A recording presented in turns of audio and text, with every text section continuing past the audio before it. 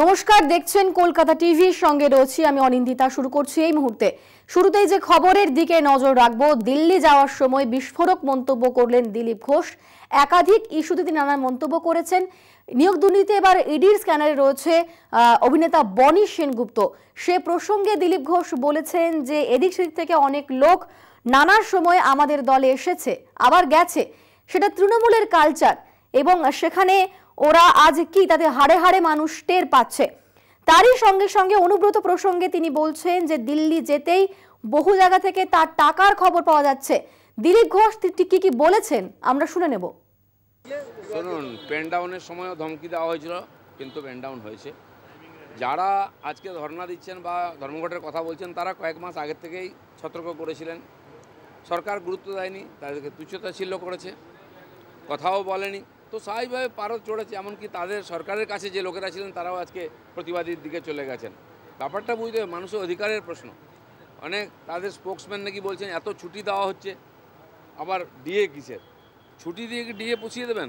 তাহলে তো ঈদে এক মাস ছুটি দেবেন দুর্গাপূজা এক মাস ছুটি দিয়ে বলছেন বেতন চেয়েও না, এত ছুটি দিয়েছে এটা কোনো কথা হতে পারে না। কর্মচারীদের অধিকার এটা, দিতে হবে। বাকি রাজ্য দিতে পারলে আপনাকেও দিতে হবে।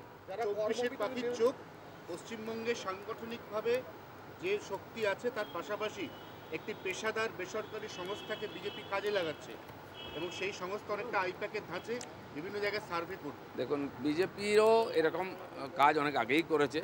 এক সময় পিকেও আমাদের সঙ্গে কাজ করেছে। এটা আজকাল রাজনৈতিক একটা সিস্টেম হয়ে গেছে। সার্ভে ইত্যাদি করে সে অনুযায়ী পলিসি ঠিক করে। তো আজও কাজ করেছে, এবারেও করবে। নতুন পরিস্থিতি, নতুন রকম কাজ হবে।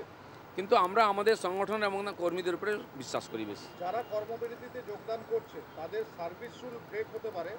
এটা হলে কি কি ক্ষতি হবে শুনুন কর্মী কী ক্ষতি হবে না হবে পরের কথা আগে তো ধর্মঘট হচ্ছে কিনা সেটা প্রশ্ন। এর আগে অনেক ধমকি দেওয়া হয়েছে ধর্মঘট হয়েছে। আর কারা ধমকি দিচ্ছে? যারা মমতা ব্যানার্জি যিনি ছিয়াত্তরটা বন্ধ রেখেছেন আজ পর্যন্ত চ্যাম্পিয়ন ওয়ার্ল্ড রেকর্ড করেছেন বন্ধে তিনি আজকে বন্ধ করতে না বলছেন তার তো নৈতিক অধিকার নেই। আমি তবু বলব কর্মচারীদের যে বাংলার দশা খুবই খারাপ, আইন শৃঙ্খলা থেকে প্রশাসনিক অবস্থা খুব খারাপ, পশ্চিমবাংলার মানুষের মুখের দিকে তাকিয়ে তারা যদি পরিষেবা থেকে বঞ্চিত না হন, আপনারা কাজ করে প্রতিবাদ করুন। নিশ্চয়ই আপনাদের অধিকার আছে। আমি মানা করার কেউ নেই। কিন্তু নৈতিকতার খাতিরে আমি বলছি, পশ্চিমবাংলার মানুষ টিএমসিকে ভুল, ভোট দিয়ে ভুল করেননি। তারা গণতান্ত্রিক অধিকার প্রয়োগ করেছিলেন। কিন্তু এই যে, আর কোমরের কাপড়টা সাফ হয়ে যাবে এটা কেউ বুঝতে পারেনি। সেই জন্য তাদের প্রায়শ্চিত নিশ্চয় করা উচিত। কিন্তু